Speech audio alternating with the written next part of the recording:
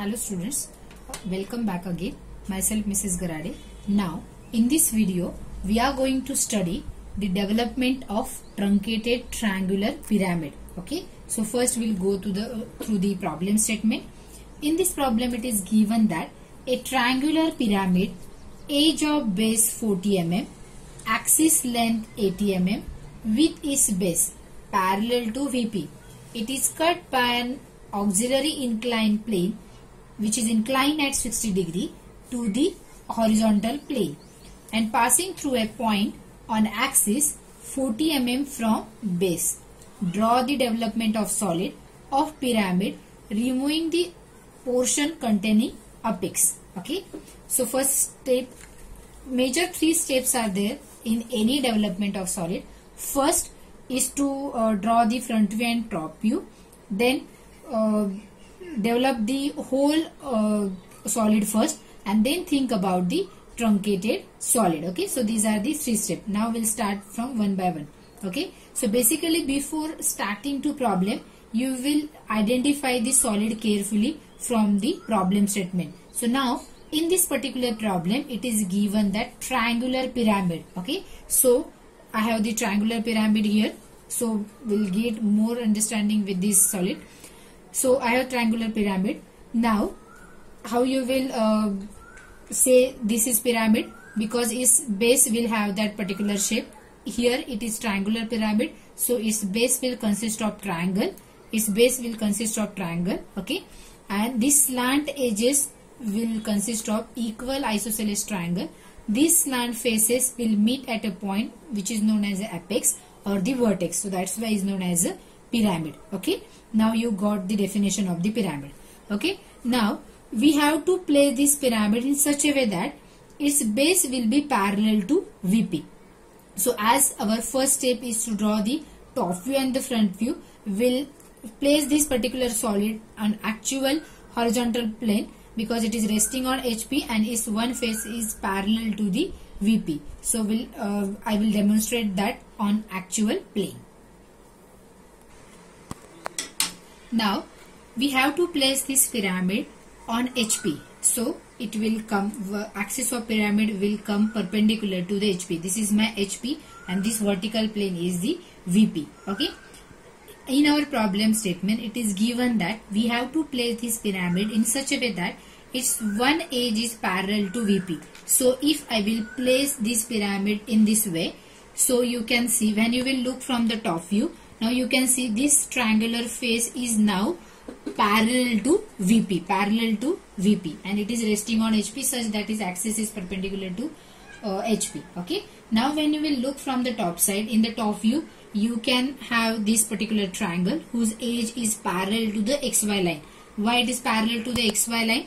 To draw the top view, to draw, to draw the top view, actually this particular uh, edge will become parallel to the xy line and in top view xy line will represent your VP. So that's why one edge you will draw parallel to VP. Okay. Then maybe in the problem statement they will ask you to draw this pyramid in uh, uh, to draw the development of pyramid in such a way that its one of edge is perpendicular to VP. If its edge is perpendicular to VP then in that case you you will place this pyramid in such a way that its one edge its one edge will be perpendicular to your VP okay? So in the top view you can see one triangle whose one edge will be perpendicular to the XY line and also you can see these three slant edges. Okay? So uh, we have seen how the top view will come if one face is parallel to VP how the front view will come. Now you will for to get the front view above the xy line you will look from front direction. So in the front view you will have one triangle okay? And one more edge will be visible exactly at the center for this particular edge. So this particular shape also will see on actual page how the front view and top view will come. Okay? Now in this figure I have shown two condition with which pyramid can be placed on HP. In the first condition, if the pyramid is placed in such a way that its one face is parallel to VP, in that case, will get top view like this. One edge will come parallel to the xy line okay? And also these vertical this slant edges which is at this corner will be visible in the top view okay? And in the front view as we discussed in the front view you will have a triangle as it is a pyramid and one edge will also come at uh, the center which is here uh, will pass from the corner B. If the condition is different, if uh, in the problem statement it is said that you have to place the pyramid in such a way that its one edge is perpendicular to the VP. In that case, one edge you will draw perpendicular to the XY line. Okay. And then you will build your triangle. Also in this case also these three slant edges will be visible from the top side. Okay. And front view will come like this. Now in the previous case your center line and the line which is there at point B will coincide. So I have shown only dark line. Now in this case your point, uh, your line which is at the corner B and at the corner C will coincide. Okay, uh, will coincide and the center line will uh, be different. How to plot the center line for the triangle? How to plot the center point? Doing uh, which uh, from which uh, you will draw the axis in the front view you already know the definition of axis. Axis means it is the imaginary line when it will pass from the apex to the center of the base. So how to plot the center of the base for the triangle? You will draw median from each of these corner. As you know median is the line which will join from this corner to the mid of the opposite edge. So you will draw these three medians. Where these three medians will meet? Here the center of this uh, particular triangle. So you will project this uh, project this point in the front view and you will join this apex to uh, to get your axis. So I have drawn this line from point O up to this uh, projector. So I have got the axis okay? So to get the front view first you will draw the top view first. That is resting on HP and then you will take the projector from the top view to get your front view so this is our first step so first you will draw xy line. Now in this case we have to draw a top view in such a way that its base is parallel to VP. So I will draw one line which is parallel to the xy line. Okay. And the length of this base edge is given 40 mm. The uh, base of this pyramid is parallel to the VP. So I have drawn one line which is parallel to the XY line. Now in this case you will consider this uh, this particular equilateral triangle. So to draw equilateral triangle you will take a distance equal to 40 mm in compass. Okay and then from these points you will draw arc okay to get the third point for that triangle okay and then connect these points.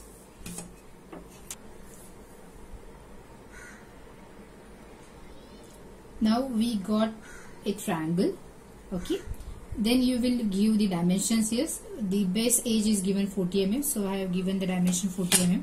Then to get the front view you will draw the projector from these points okay? So from each point you will draw projectors here to get your front view okay? Also you will draw projected from this point okay? Now as it is triangular pyramid you will get triangle in the front view in this the axis is given 80 mm so here you will have the projector for the axis. To get the axis what you will do first? You will draw median as I told you. To draw median first you will mark midpoint of this opposite edge and then join these corners. Okay? Okay? Now in top view we can see the slant edges also as you can see here.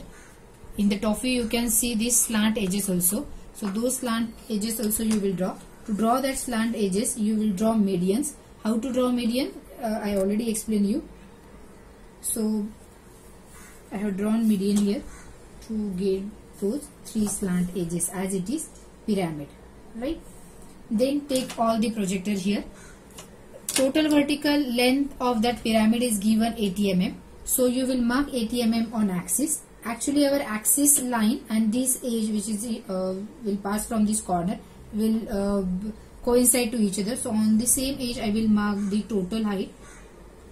Okay. So this total height is given 80 mm. So here my apex point will come. Okay. Then you will connect this with these points.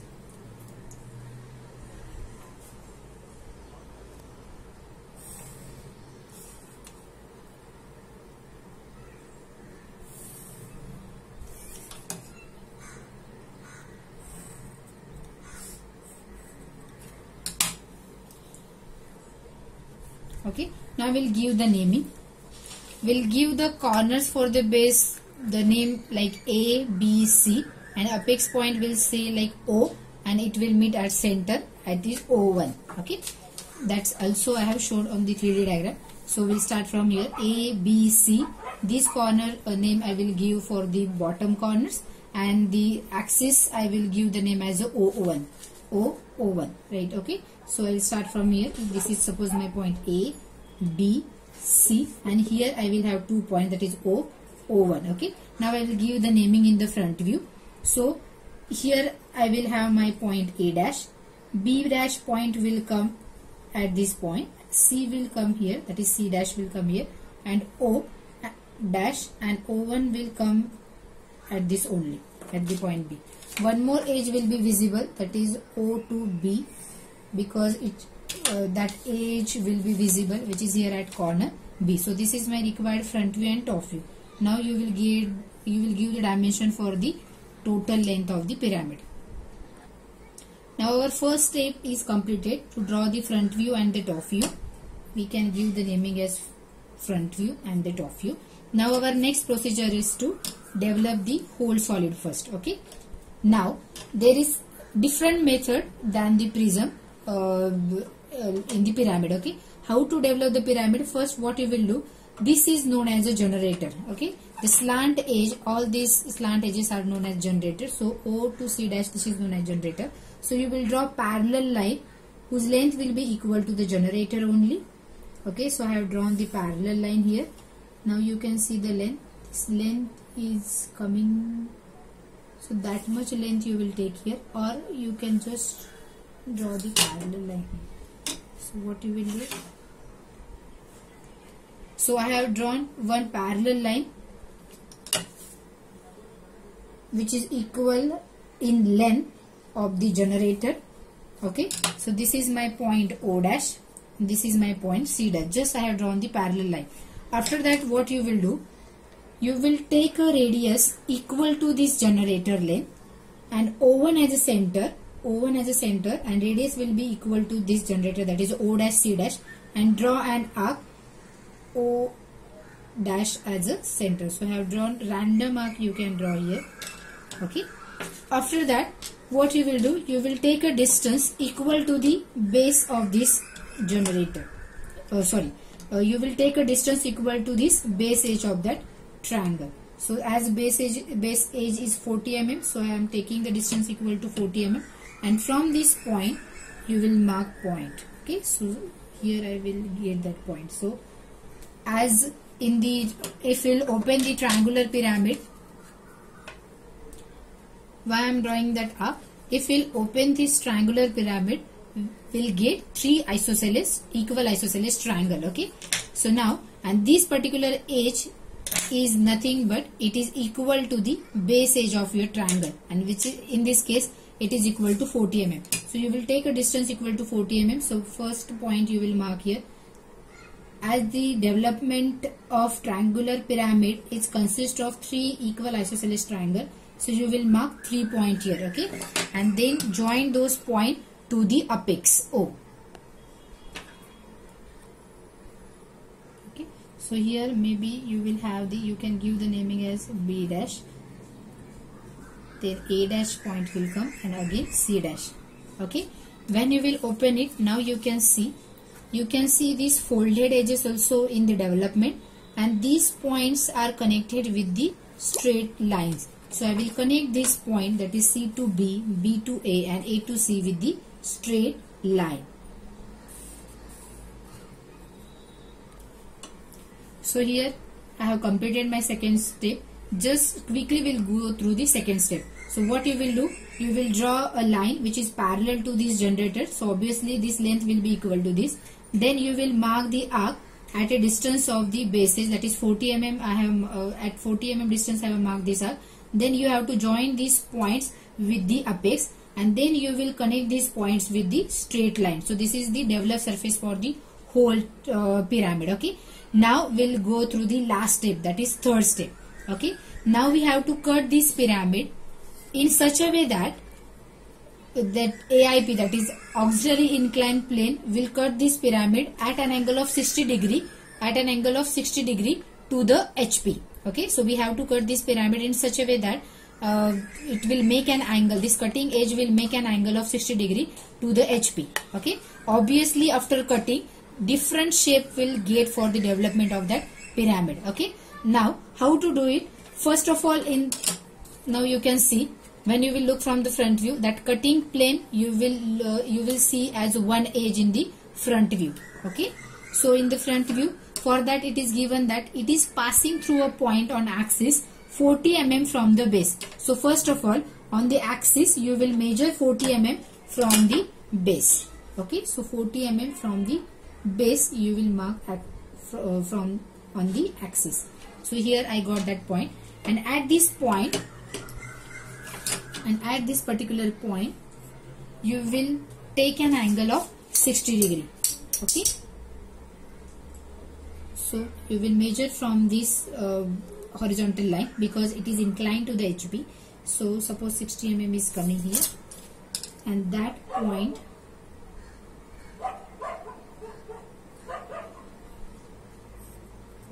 so this is my required cutting plane which we have to show by the dark line which you have to show by the dark line. After that what you will do you will take all the projector you will take all this projector from this point okay? You will take on this particular surface on this slant edge here also you will take up to here. So on this particular generator you have to take this projector where this cutting line will meet to your generator. From those points you will take the projector. Where this point will uh, cut to this generator again from this point you will draw up as it is a curved surface okay? So you will have one arc here. Then from this second point also you will draw arc up to point B up to B only and from this third A point is here. So you will draw an arc from this point up to this radial line OA dash okay? Now mark the points okay? This is the line O dash and C dash O and C dash. So here you will have point C PC dash okay? B point is here so you will see the B generator so here you will have point B dash. Then A is here. So here you will have point A dash. P A dash. Again C point you will have this point at here. That is PC dash. Then as it is pyramid you have to connect these particular points with the straight line. So I will connect these points with the straight line.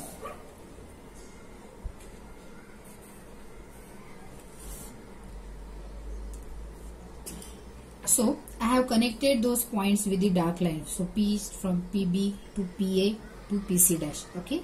Now we will darken the portion which is asked in the problem.